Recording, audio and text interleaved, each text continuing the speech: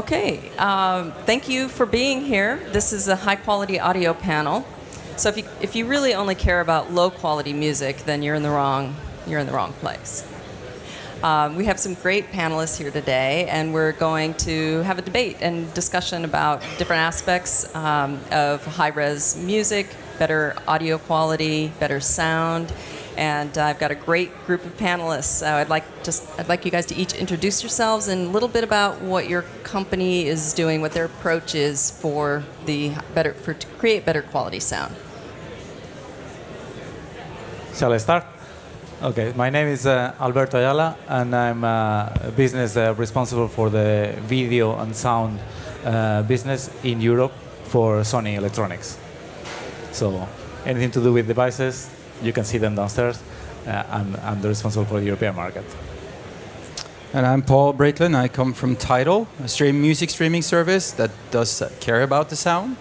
Uh, and uh, I'm doing strategic partnerships there with anything anything we can put the Tidal into that will actually stream it. Uh, anything from Sonos, Harman Denon, and up to all the expensive pedigree brands. That's my job.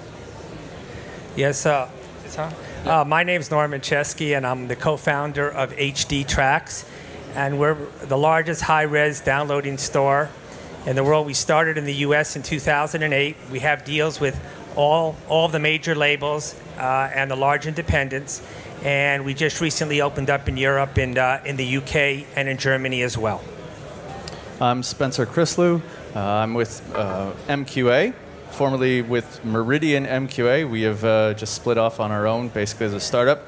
Uh, it's a company form that is all about the highest resolution audio in a convenient package that drops in today's environment. And we're, we're very excited about this and working with a lot of guys up here to make this a reality.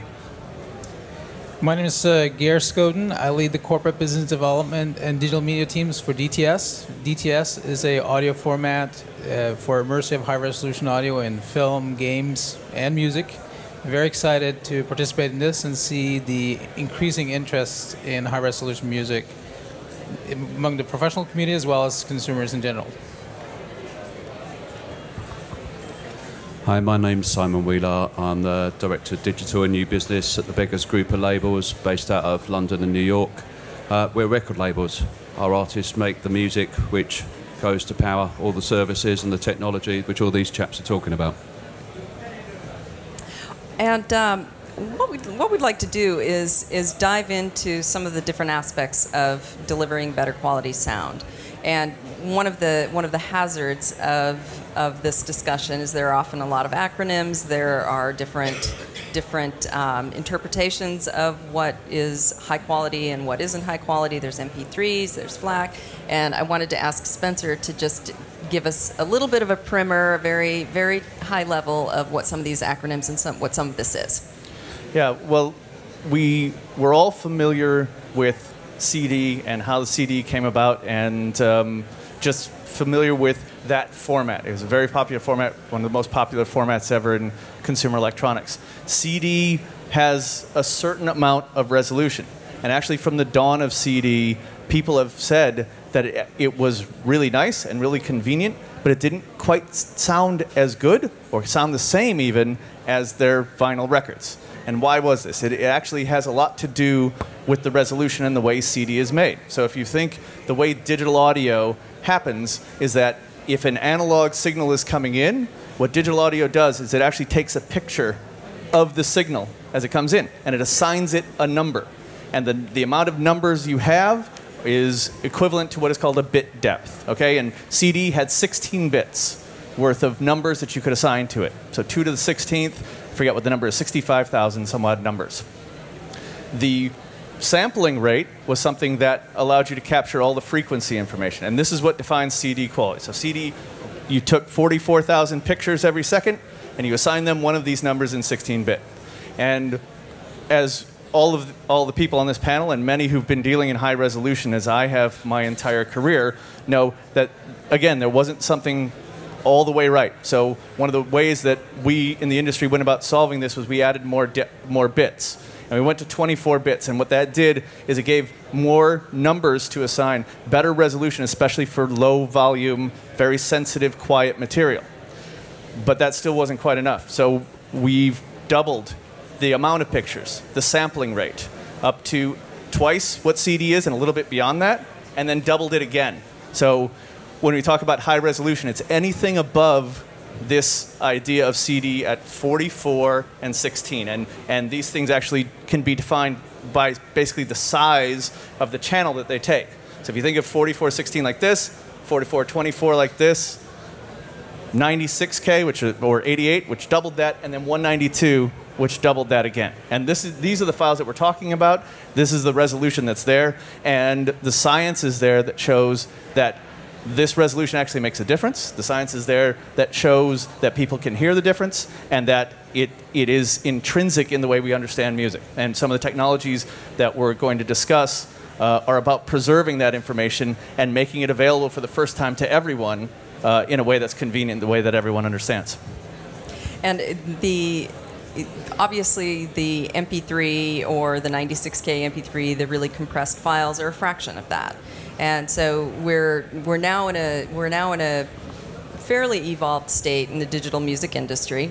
There's a lot of discussion around audio quality. There's a lot of debate about whether it is scientific or whether it's uh, perceived value. And um, and I think the first thing to talk about is is does it matter and, Well- and, and and is there a scientific difference or is it something that is more of a concept? Well, to that point, yeah, I- didn't even mention it. When we talk about MP3s and some of what are called lossy formats, the reason they're lossy is because it actually throws away 90% of the information that's in the file. If you think about that, that's what an MP3 does. And worse than that, the noise that it introduces actually travels along with the music, which creates a really nasty distortion that's in it. It's designed so that, that those distortions are hidden. They're hidden in areas where we're not very sensitive to music, but that doesn't mean we don't perceive them. And so it's one of the things, again, because the environment is there to present everyone the highest resolution music, that we're all about that. And so obviously the people in the industry who are here, you know, building a business around making better quality sound believe that. But what about the artists? What about the consumers, millennials? Let's, you know, Simon, talk a little bit about the artist and the label perspective. What, uh, what's your, what's your view? Well, I think from a label's perspective, we see a lot of value in uh, being able to deliver higher quality music experience and not just financial value. I think the experiential value of people to be able to experience that. Uh, it is a bit early in the day. I think up until you know up until now even, I think you need some you know pretty pretty decent. Uh, a pretty decent setup to be able to really experience higher quality audio in the best possible way. And I think one of the down downsides of the, perception of high quality audio is that it's been put in this audiophiles category. You know, you need to have a, a twenty thousand pound stereo setup before you can really experience it, which which isn't quite true. But I think that's kind of where it's been perceived. So I think it's seen as you know still a very much niche product. It's very early in the day now. I, I think from uh, if we think about making our repertoire available, if we need to go back to analog masters to be able to originate um, higher quality digital files, which, which is in the very large amount of cases what we need to do. The cost of sourcing, well, going back, sourcing the original analog masters, being able to take them to a to a quality mastering house, being able to create those new digital masters is not insignificant. Um, we are talking, you know, definitely a thousand, few thousand pounds per album master if you want to do this properly. Now, with the market as nascent as it is, you know, do we go back through our catalogue of however many, maybe it's 500 albums, 700 albums, 1,000 albums, whatever the size of your catalogue is, and pay that money to invest for the future now? Uh, you know, at what point do we do this? It, do, it, it doesn't make sense for us to do the entire catalogue now. So we've got a program of going through the, the masters. We are remastering. We are we are originating. We're making sure they are true high quality masters. The, the worst thing any of the industry can do is try and take something which is substandard and either you know upscale the masters to meet the quality or, or to basically tweak it or try and fake it. Um, so we're we are pretty obsessed with not doing that. However, we've got to manage the, the cash and the funds to be able to invest in this, and we're not going to go and spend hundreds of thousands of pounds tomorrow when the business is only worth hundreds of pounds today. So, so, so that's our sort of like label perspective. I like to interject. Is this on? Yeah. Um, there's no question that to make high res work, you need the commitment of the labels.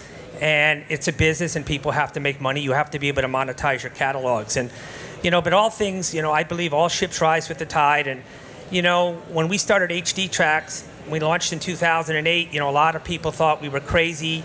People never believed that people would, you know, pay a premium price for a download. And um, the majors and a lot of people were skeptical, but I'm pleased to say that now in 2015, um, we have every major committed, uh, the three major labels, a lot of the independents, and I think that they're seeing enough revenue. They're starting to see significant revenue that they're all making a commitment to jumping into this space. And I believe all ships rise with the tide because first you have to get the labels. It has to start with the labels and get their commitment to offer you the catalogs. And then you need people like Sony to step in and start making players so people could listen to. So it's like a whole ecosystem. But I'm pretty excited because I think it has to start from the top down. And I think that we are showing the industry that there is money to be made in this area. And there's a lot of great artists now that are offering their catalogs. Uh, uh, Tom Petty just came out and offered, but there's so many at this point, and every day it's opening up more and more. So I think we're at a good place right now. And people do pay quite a premium, right? Uh, they do, yes. Can you Uh, talk a bit a bit, about your what what prices your an album is well, we uh, you know we have a different kind of model with HD tracks. We, we go after collectors, and it's more about we, we try not to sell tracks. We like to give people the experience. I kind of feel like when Led Zeppelin was making their record, they weren't thinking about selling it by tracks. And we do offer um, you can get a 96 download for 17.98. That's the American price, and we could go up to 192. I'm not trying to bore people with bit rates here. But what I what we've discovered, at least in our space, that consumers, the ones that are committed to this right now at the top, they're willing to pay the highest. They want the best file possible. And a matter of fact, I would say that when we come out with a, a new release, 65% of that, the sales are targeted at the top price point. Now, I'm not saying that that's for everybody, but certainly the, the, the core market, they recognize the difference and they're willing to pay for that. And talk a little, you know, to, tell us a little bit about Tidal, and you, because you've got you've got two two tiers, right? We got two tiers, and one one is lossy, and it's the same as Spotify and the others.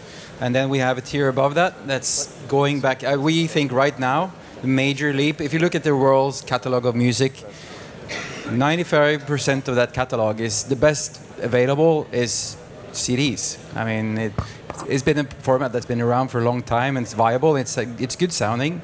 So the major leap is getting back to CD quality for most people. I think, I think Norman is a very different type of uh, of consumer than we have. We have a lot of like music enthusiasts, music people that want to get back in. I think you have a lot of collectors or the collecting people, and they're extremely obsessed with. I, I mean, we normally call them audiophiles. I hate that term, but uh, I, I know We they're call them music aficionados. they are music aficionados, yes, and and but we, it, in order to make high resolution or high quality or what was created in the mastering suite to the to the big public, I think uh, streaming it and streaming it as uh, right now it's CD quality. Uh, we will stream higher when that's viable. Um, so so but but our approach is making that important leap back up to CD quality. Um, And be- because I mean I, I mean Lossy was created to overcome the boundaries of a small modem that was sitting in a corner and dialing into the internet. And now we are streaming Netflix HD on iPads. And why should we not go back up to, to lossless streaming on music? I mean, it does matter. Um, one thing is the science of, of the files. It is better. You can feel the difference. Uh, but also, I mean, it's an experience. Mu- and it does matter. We, uh, we, we, need, we are the ambassadors for taking this back to the right level, uh, and it's important. And we're very excited at MQA about it coming out of this niche um, Norman's played and, and HD Tracks has played an incredibly important role in introducing high res to everybody. What MQA is about is taking that resolution of the highest resolution files and actually folding it losslessly into a package that's no bigger than CD, which means it can now stream on Pål's service. So the, the, the resolution that's is now available to everyone, the cost of entry is no more than entering that tier that they're doing. So it doesn't cost any more in hardware. It doesn't cost any more other than that entry. The, the resolution is there, and I think by presenting the best possible resolution to everyone, I think we have a responsibility as a, as a music business to present what the artist created in the best possible way. And, and we had been limited by any number of technologies before, and I think for the first time in the history of recorded music, we can now present exactly what the artist heard bit for bit in the studio. Uh, and our technology will actually allow you to verify it, to actually understand. It will light an indicator that will tell you that this is exactly bit for bit what they heard in the studio in a, in, a, in a package that can live on a streaming service or in a download service and can be played back on hardware for many of the guys up here. Well, it's it seems like it's a proposition that starts at the artist. And someone said it starts at the label, but it seems like it goes further than that. That it really starts with the artist and what the artist perceived as their work in the studio, all the way down to the consumer. Um, we are in a we are in a situation where we have probably probably everyone has some mix of all sorts of different quality files that are on various devices. Um, I would imagine that those of you who are working on platforms and codecs and, and devices want this to be as as mainstream as possible. Um, so, what do you think it will take to go from being a niche and a collector and, and a, you know, a, a, a, a nascent industry and initiative to mass market? Yeah, uh, so I think uh, from our point of view, as, as a provider of a high quality format, we've seen uh, you know, our position in the consumer market grow over the last 10 years to be from just hi-fi systems to TVs, cars, phones. So I think what Norman was alluding to, the fact that the ecosystem is, is rising is, is very promising because I think the core of the issue has been for a long time that there was a perceived and, a, and at times a real trade-off between being getting access to a high-quality file and a not and a low-quality file. So I think what you're seeing uh, with the the next generation smartphones as well as other connected devices is that this audio capability is being built in already. So then the trade-off so that people that um, uh, Simon is working with actually will have a market that's vital. And I think in that sense, there's no question in my mind when you give uh, a, a, consumer the ability to listen to their favorite artist in full resolution, give them a true immersive experience. That's a true wow, and they will hear the difference. And I think the premium models um, that Tidal is driving, as well as Norman on the purchase basis, will will uh, will thrive in that environment. And I think with that, the artist community and the labels will will find the economics to to produce higher higher resolution recordings. Well, from from my side, uh, back to your point and Simon's before as well. Have to say that uh, from from manufacturer's point of view, uh, device manufacturer's point of view, what we are trying to do is to help as well at the end of this kind of value chain to basically democratize a bit the access to this uh, kind of experience. Uh, Simon was talking about the $20,000 or 20,000 pounds type of devices. We are trying obviously to bring this into, into mass market. So each one of these guys are trying to help their bit into making it easier for the consumer.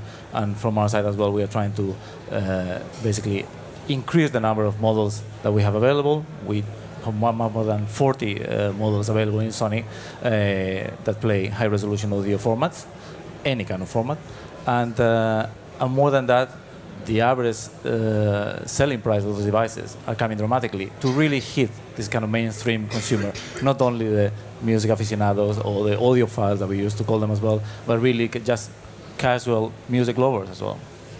But I, I think in the marketing of, of this, I mean, it's called I don't know how many high resolution debates I've been in, and and always I think the conversation with the consumer is hijacked by audiophiles. Uh, only wanted speaking about numbers, only want to just like up everything all the time, and it's increasingly important that the, the story is that it's an unbroken chain between the mastering suite and what you're hearing. And if, if we could, if there was a price point out there that we could say, I don't, I, I don't want to even make that choice. We're just going to serve you a very, very good source file of a very, very good recording of a fantastic track, and you go, wow, because it's a great music experience. So you don't have to deal with this. I am I'm even reluctant to speak about high resolution uh, because it's it's it, starts to become technical and people shut off. Okay, I, I just want to throw in one other thing for people that are listening and trying to get the whole message. We're like in our infancy stage, and um, one thing I want to point out for you guys that make records out there that are in this business to make a living if you look at the trends, last year downloading, you know, iTunes, the revenue's going down. Obviously, it's being taken up by streaming.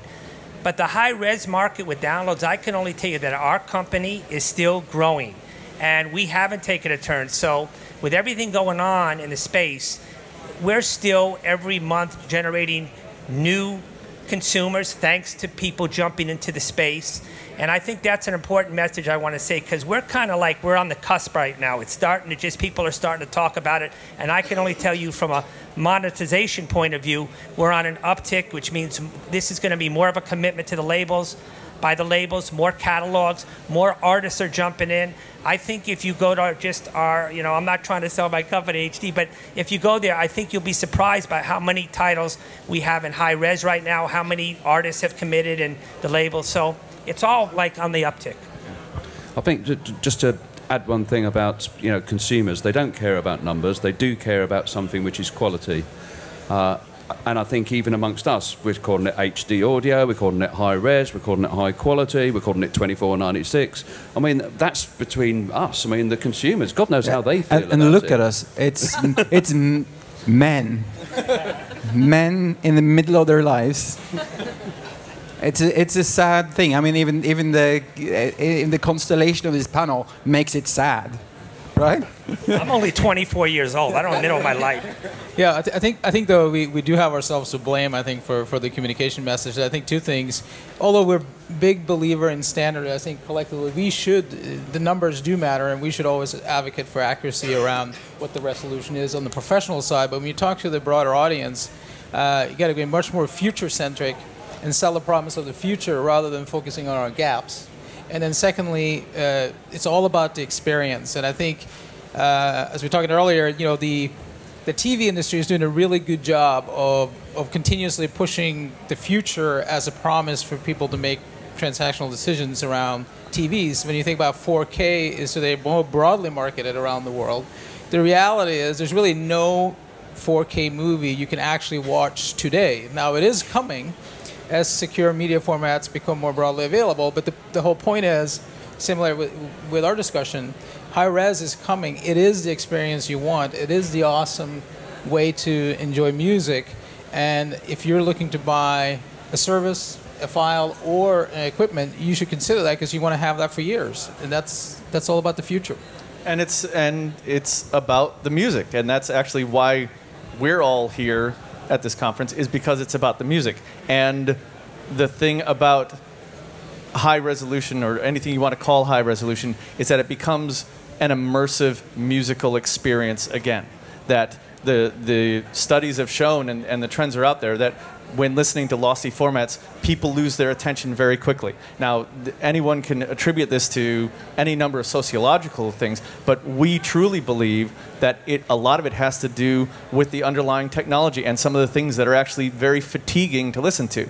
To be part of a musical experience, you have a whole generation of people who've actually not been exposed to what their artist intended, to what really all the nuances that go into an artistic performance that get lost in these other formats.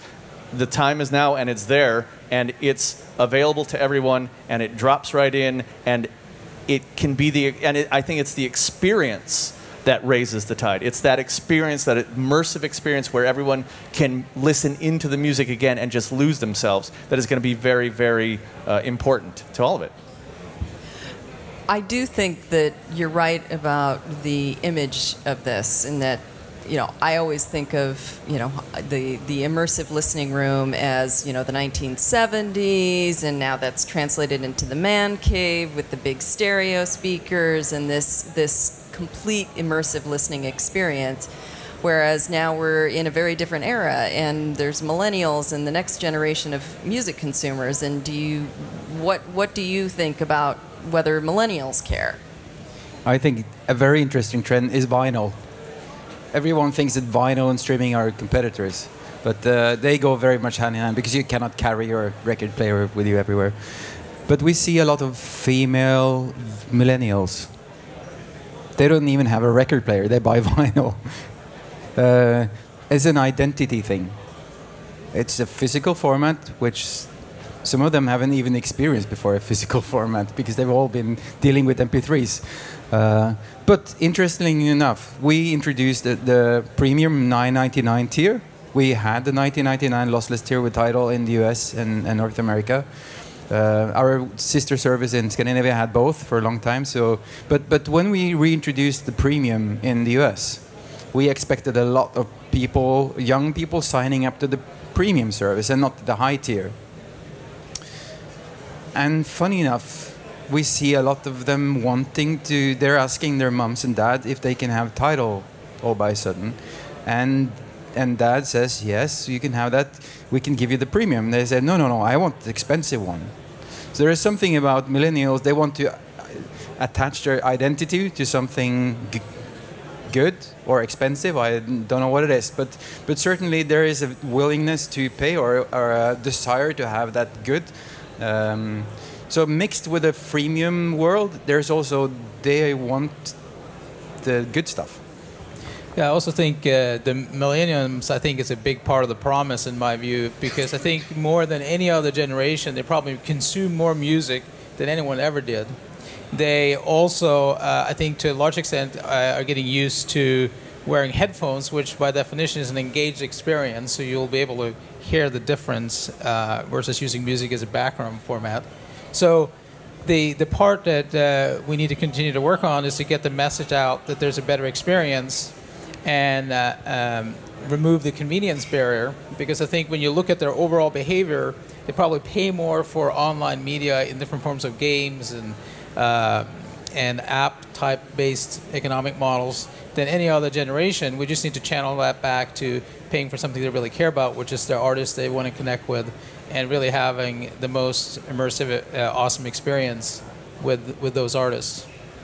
Uh, I was gonna I was gonna make the point about the headphones. Good point because when we talk about uh, high quality, you always think about the kind of home devices, the static devices, the living room or the or the uh, listening room, but we talk about millennials. We're talking about the, the boom of the headphone market in the last few years. And yeah, it has been driven by uh, marketing campaigns, not so much caring about maybe audio quality, by the market or the brand that has been kind of uh, driving this growth. But in reality, if we can provide for that kind of product that is relevant to these millennials, this kind of sound quality, then we can grab this generation as well. So don't go there with a expensive uh, standalone uh, front speaker, maybe. Approach them with uh, very high quality, fancy, good design headphones. Well, well, I think that's exactly what we've seen, and I think you reference, you know, marketing campaigns as opposed to quality. But actually, that marketing campaign was telling people this is something. It's going to sound better. You're buying into something which is going to make your music sound better. Now, whether they do, whether they don't, that's what people are buying into. But I think it did prove that people will put money down, will put more money down because they're buying into a high quality experience. Exactly. I think that alone should give us all a lot of confidence. But it took a huge amount of marketing, some great branding, all of those things pushed together delivered this, you know, quite a successful business. You know, I just like to add one thing when I say all ships rise.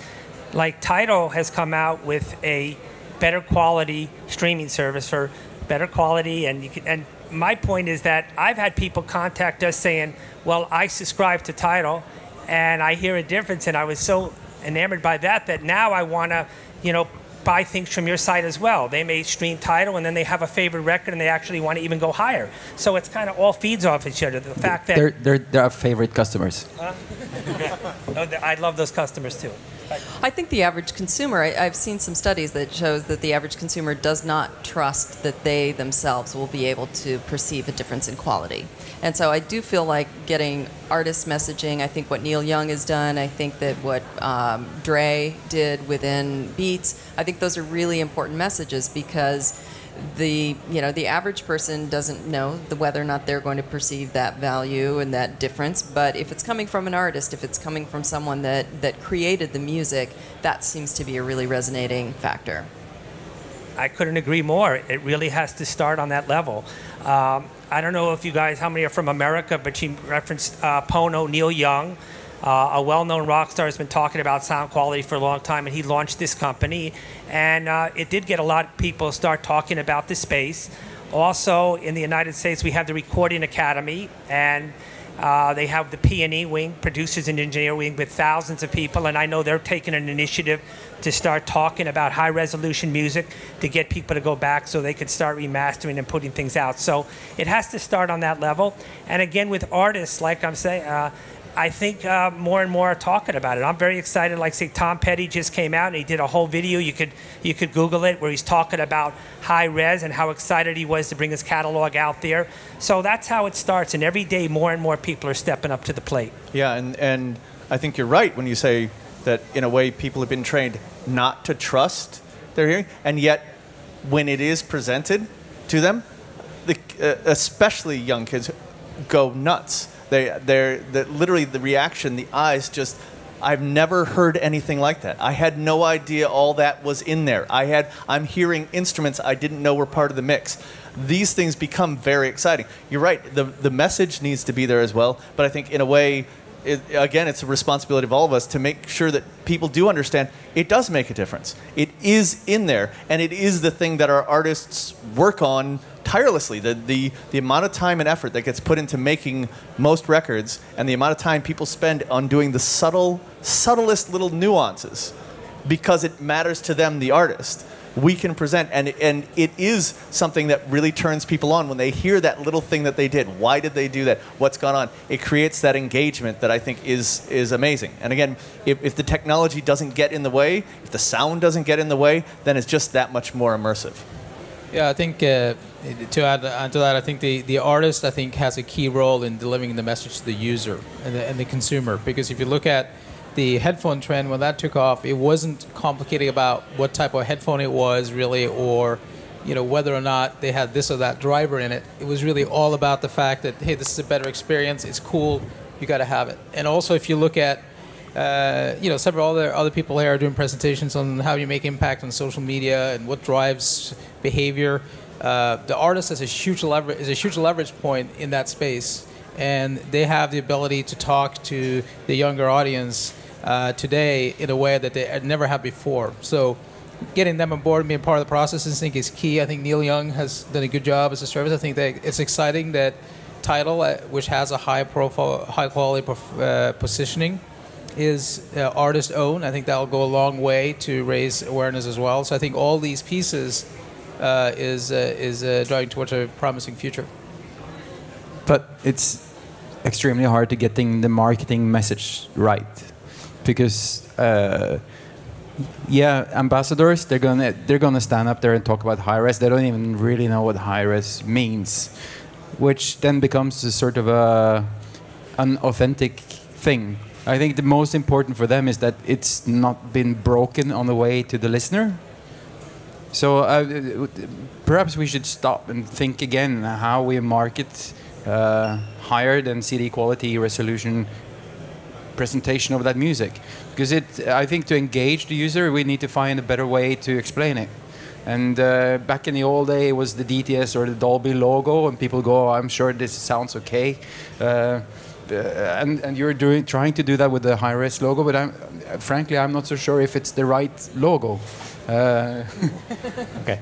Um, the, the thing is that you can see it downstairs.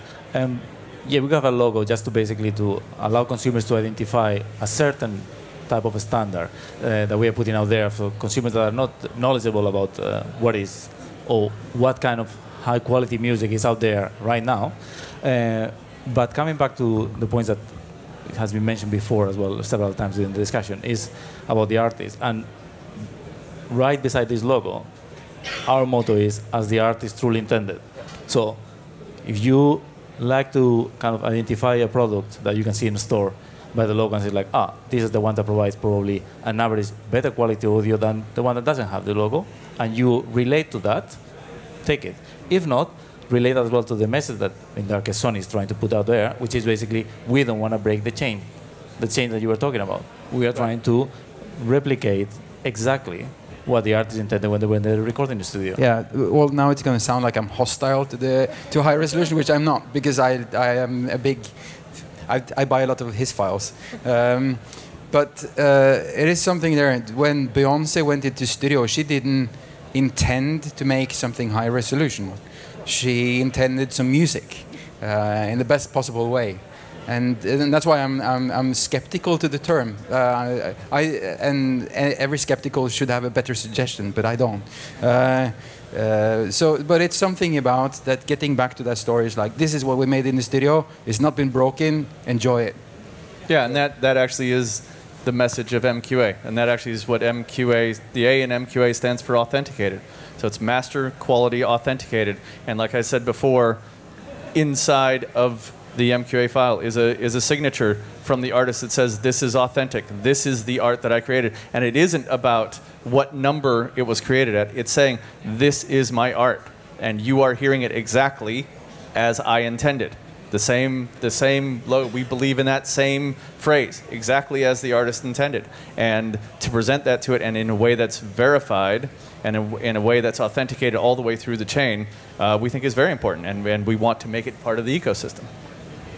Well, it is, and it, speaking about the ecosystem, it is very complex because you, you know, you have lots and lots of stakeholders in the chain, from the artist in the studio to the end consumer, and I think there is a little bit of fear associated with this of do I have to now buy new devices to play this back? Is this going to work if I download a file? Is it going to play from my iTunes? Do I have to have different client? What kind of headphones do I need? You're all pretty deep in different stages of the ecosystem. Um, how how do you envision this? Is this a you know that the floor just rises and that it starts to become the new normal of you know that CD quality or something is the is the minimum? Is that?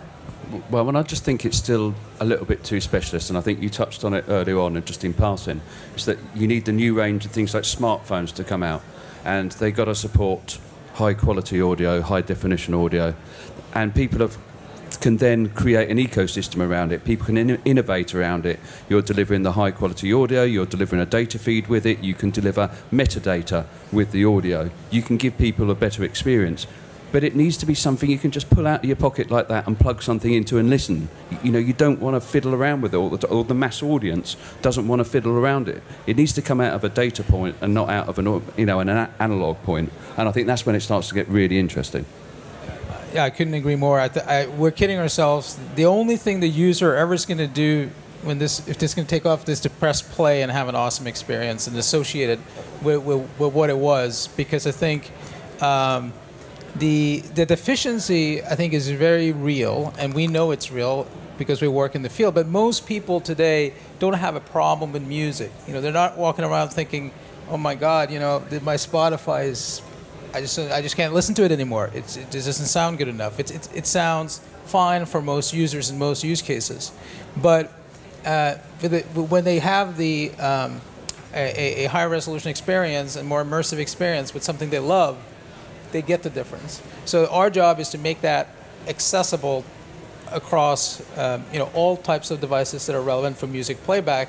and then support it with content so that when when they're there to press play, that moment of magic happens. And I think that's the way you're going to turn everybody. That's the way the artist gets turned on things like MQA or DTS HD Master Audio or other high resolution formats as well, because they start hearing the difference.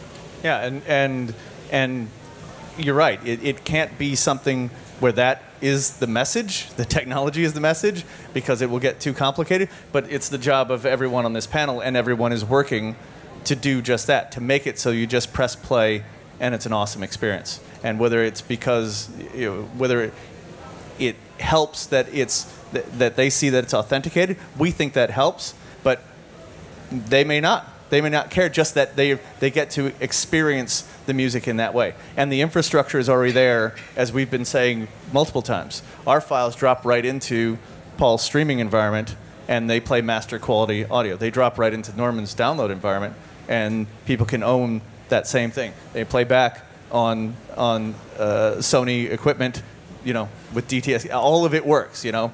Um, so it's there right now, and it, it is just a matter now of just making everyone in this room, everyone around, of it, aware of what it is, and to start start creating the, the momentum around it. I just, So- wanna, I just want to add, you mentioned the phones. Early this year, Sprint had a deal with Harman Kardon, and they are starting to make phones that play back high res.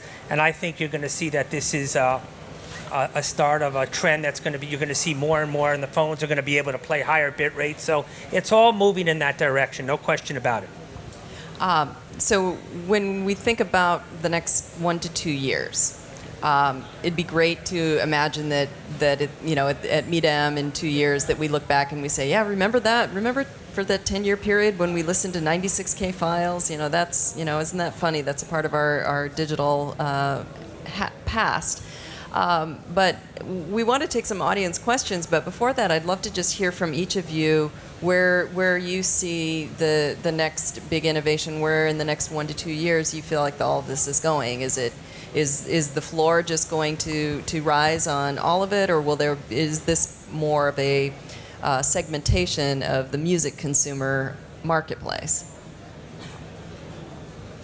Okay, if I may start, um, I think uh, the, as you said, the, the floor is going to raise, uh, the standard is going to raise uh, in the different stages of the of the chain. Um, I think the uh, music services are going to raise or maintain, obviously, the, the format that they have already.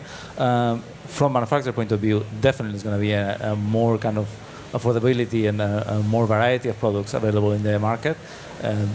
Norman was talking about the smartphones. In, in one year time, we know there are going to be more smartphones playing or capable of playing high res or high quality audio than, than non-capable of playing high resolution, high resolution audio. So in that sense, uh, by default, consumers will see that the vast majority of the products are there will be capable of deal with that kind of uh, quality. And once you have a product that is capable of, of, of delivering that kind of uh, uh, experience, you want to try it. You want to try, and, and once you try it, that some of you guys said, uh, you are not coming back.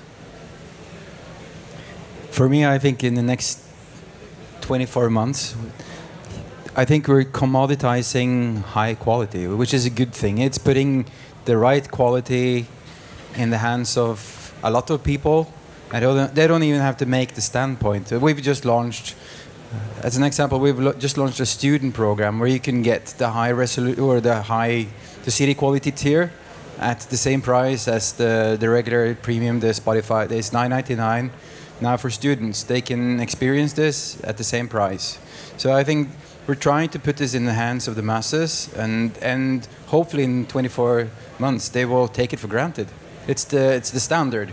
So I, I think the the big leap now is getting back to no loss in the, in the quality itself for most of the catalog, and then it will just carry on climbing from there.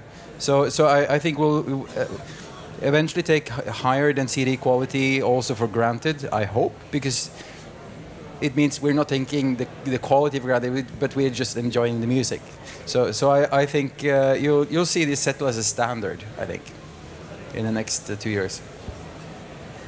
If you're asking me in two years if people look back, I, I think I could say with confidence that this is going to be a much larger market. I think that people in the music business are going to make more money from better quality streams and, and downloads, and, uh, and that's all good. I think Tidal's going to be a healthier company in two years than they are now. I think you're in the right direction. I think HD Tracks, based on everything going on in the space, is going to be a larger and more successful company than we are now. I think the labels will have by then when you're going to ask them about you know high res and they're all going to say we're very committed to it and I think it's all good. The other thing I want to point out that I think that excites me in, in America when they come out big with big releases now, whether it's a Mumford and Sons or whoever, uh, that on street date they make it a point to offer a high res version of that. So these are all good things. Everything's being put in the pipeline, and people are making the right commitments to make this a bigger industry. So I think in two years we're going to be giving it a thumbs up.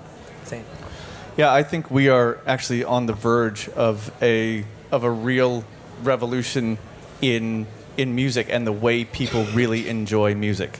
Um, there was a, there was a quote by one journalist about MQA where he said, um, "We really feel that uh, uh, MQA will make." High, the term high resolution as anachronistic as digital camera. It'll be so ubiquitous that it it will just be everywhere. That no one will be talking about what high resolution is. They will just be experiencing it, and that is what we're truly behind. And I'm, I'm we're really excited about what the next two years look like.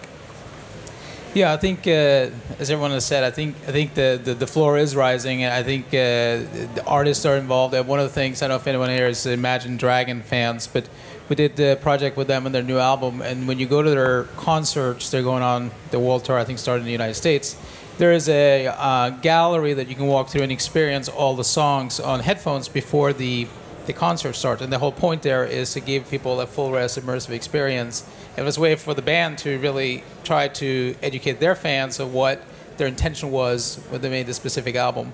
Um, I think the convergence of the devices being available, the technologies uh, simplifying the process so that it is really just a hit play is, is what we need. I think it always takes longer than you think, but uh, continue to work together as an industry and focus the message to the user on the experience in the future uh, I think it will be in a good shape. Yeah, for me, it's all about having enough affordable mainstream consumer devices in the marketplace. So that's just the norm, and then having enough services to provide the provide the music in the right quality for people to enjoy on them. That's pretty simple for me. That's great. Um, we have a few minutes left. Are there any questions in the audience? Otherwise, we could just go on and on and on. And are you are you? Hi, I think this is a question for Tidal. Um, are there talks with ISPs because there's uh, if you stream high quality, there's a lot more data flowing around and um, usually, well, it's in, in Germany anyway. You have a certain like data package per month, and if you go above that, you you only have like low quality service after that. And I imagine that it goes away pretty quick if you use a premium or the high quality streaming. Very good question. And there's two main paths to, to the to the answer. And one is yes, we are talking the ISPs. There are companies like uh, T-Mobile offering uh, music freedom where the data for music and services are included. Uh, so yes, and then there's also, of course, the classic bundle talks and many other waves, uh, ways of, of, engaging ISPs with music. The other um, uh, answer to that question is people talk an awful lot about streaming being streaming, but it's actually also distribution of files that can be offline to your handset, and we see a lot of offline use. I myself, am, I think most of the music I listen to, unless I'm checking out new stuff, is stuff that I've synced down to my my. Uh, so we're also in the download business, but we, I mean, we're we don't. You're, you're not dealing with the files. You just flip, a switch. So so uh, so in that sense, a lot of people on on the go with mobile, in their car or commuting, or they are actually experiencing that music uh, locally from their device. Is there anyone else? I'm wondering how you guys are thinking about getting into the heads of millennials. I mean, these are people that grew up without CDs. They've just been listening to crappy music from the beginning. And you could make the argument pretty easily that they went to Beats headphones just for status more than quality of audio. So, how do we ensure that they understand the message and that they get to actually experience that, um, you know?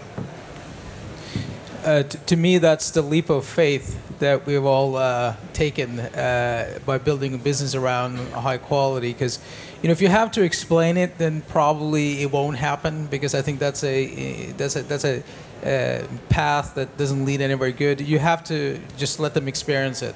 And I think it, it also inspires the creators when they know this uh, this tool exists. I think you'll see more creative mixing. You'll see a more creative use of dynamic range. A lot of things that got lost as things got mastered for radio or low low bit rate, uh, low streaming will come back, and there will be a difference. And if the young person cares about the artist, uh, uh, they they they don't need any explanation. It sounds awesome. It's all about the experience, and that's it. I would just like to add and say that, you know, it is challenging to go after a generation that grew up and they don't really even believe in paying for music. So they have a different mindset. But I think it does call come down to the experience. Uh, it's like what Spence said before. It's like I know that when people would, like, let's say, download Michael Jackson's Thriller, and you put somebody who only heard it on MP3 their whole life, and they get a chance to hear a better experience, and they're going to hear instruments and things that they didn't know existed in the recording. I think that does make a tremendous difference. It's almost like if you if you have somebody who's been watching a black and white TV their whole life, and then suddenly you put a plasma in front of them, I think they will, you know, they'll see the difference. And the point is, we have to get these young people to hear the experience here. So I think that's the key is exposure. Uh, yeah, I agree. And I mean, for a group of people, if you if they have nice headset, mobile phone with enough battery on it and Wi-Fi, they're happy, and they don't want to. I mean, we're, we were talking about this before. That I mean, the old collector generation, the baby boomers, they wanted to own their house, their car, everything. I mean, these guys, yeah, they want to Uber a car, and then they want to Airbnb their holiday place. They don't want to buy a second house. They just want to Airbnb it. So I think, obviously, I think streaming is sort of part of that answer. Um, and then it comes as a music industry. It's about not not starting to discount the quality tiers very hard because I think we need to keep the price up. Now, now we see some of the people are starting to willing to pay and they want to pay double premium. And then it's all about like not discounting that, but adding more and more and more value into that price by putting the quality up, giving them more experiences, giving them whatever they they like just now. I mean, if it's surround sound for your headphones or whatever, we need to stick that in there to keep the price up and not discount. You know, some people, I just want to say, some people want to own, some people want to rent. What we don't want are squatters in the house. Which means, so we want to hopefully get young people to realize that there is, you know, a reason to pay for music, and that it's they're supporting the artists, and that's a good thing. from from a manufacturer point of view as well, and taking your point about uh, about the appeal of the device itself. Um, if we have to bring these people on board through design, then let's do it. So, and, and I think in that sense, there's this. Uh, you stay tuned uh, in the coming months. But the question is, if if we have to bring them into experience that kind of new way of listening to music through a very cool device, through a very appealing device in terms of design, so be it. Any any way to bring them on and to let them experience, because as I said before, once you once you get them, then they will stay with that kind of quality. Uh, Yeah. So design and the appeal of the product itself is very important for them to really this this money that they have available for uh, basically um, purchasing certain iconic devices uh, to be audio, one of those devices. Okay? Instead One thing in, in, your example that you got to keep in mind as well. So that young person who spent the headphone, spent that uh, you know three hundred dollars a headphone, spent more money on the headphone in some cases than they did for the phone.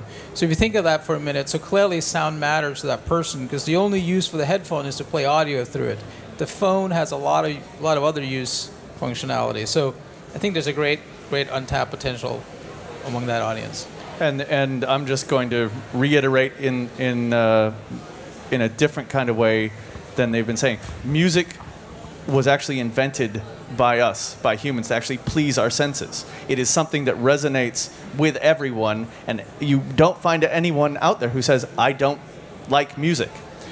The reason it resonates is because it is part of that, and and when you give people real music in a real space and a real experience, it sells itself. It, it doesn't have to be sold, and it's not about numbers and anything else. The music, the experience of the music, is is going to be amazing, and and that is what will raise the raise the level for everyone.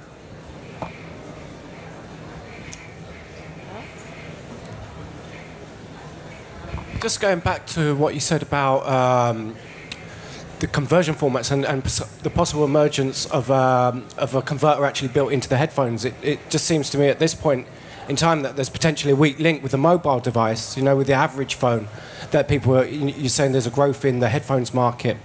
Um, and people are buying into you know more and more expensive headphones, and you guys are, are pushing for higher quality audio. But is there development with the mobile phone fa- manufacturers to actually improve the converters, or, or as you say, develop uh, converters in, in the headphones themselves and a, and a digital output? Um, yeah, I'm just wondering what your thoughts are on that side So, of things. so you're talking about a D to A, the D to A converter in the phone between the yeah, phone and the headphones? yeah, yeah. So you got that. You still got that link. Yes, sure. Yeah. So, so I think you make a great point. The experience is ultimately a function of the lowest common denominator in the whole chain, which I think why we're all here and assembled with the diversity you have in terms of the different companies. But, uh, but I think the, the, the short answer to your question is yes. I think that's coming in a big way, and I would say in the next 24 months, which was what um, Vickie mentioned, I think you'll see a mid-range percentage of phones having that full capability. Some smartphones, so it's 30, 40 percent, and I'm sure Sony could speak to that eloquently on their own products because I know they're very much part of that trend. Yeah, absolutely. We started already one year ago in uh, in uh, IFA when we presented the new range of Xperia phones. Uh, Z3 has been one key uh, model pushing the high resolution audio, and uh, any future kind of uh, key models that we will be launching will be obviously uh, prioritizing uh, high quality audio as well as one of the key selling points. Yes. I, I mean, mobile phones sound a lot better than their reputation these days. They do. And also, headphones are starting to become created to work well with a really, really low voltage coming out of the phone. So, I mean, they, you can have a fantastic experience with just headphones and a mobile phone. Yeah, I mean, I think you can find, you know, if you do a bit of a search online, there's enough news items in the specialist areas about developments that's going on for consumer electronics devices, trying to, trying to integrate proper high definition audio at a, at a very accessible level for the mainstream. And that's, that's really what we need. You know, in my view, until we get there, it's not really going to take off. But, you know, once it's built into the device which everyone's buying anyway, then it's going to start to become that standard. That's definitely happening.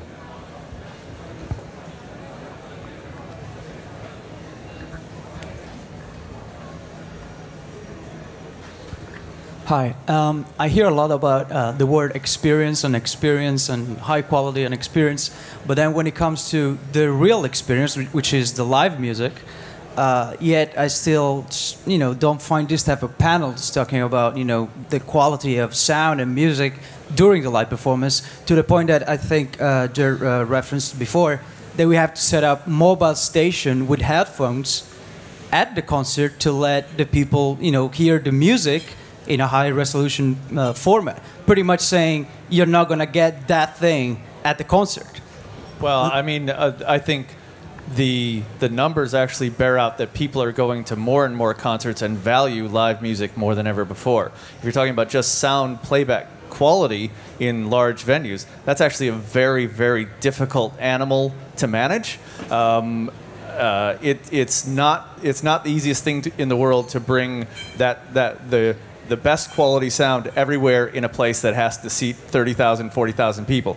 Um, to that end, there are some things that can be done. There are ways that uh, that uh, you know between limiters and processors and all sorts of technical details that we can go into uh, about what it is. But I know that the technology evolves everywhere, and that uh, and that the guys who are mixing live sound um, are very much involved in making it a, a better experience there as well.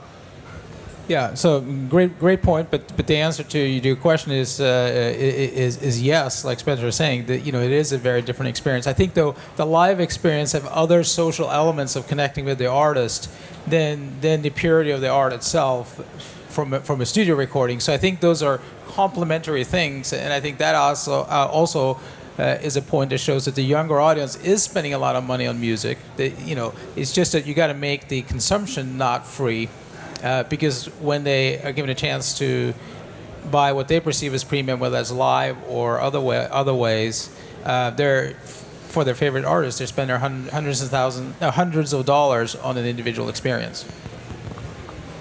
Thank you very much, and uh, I think everyone will be here for a few minutes if you want to chat with any of the panelists. But really appreciate you coming by.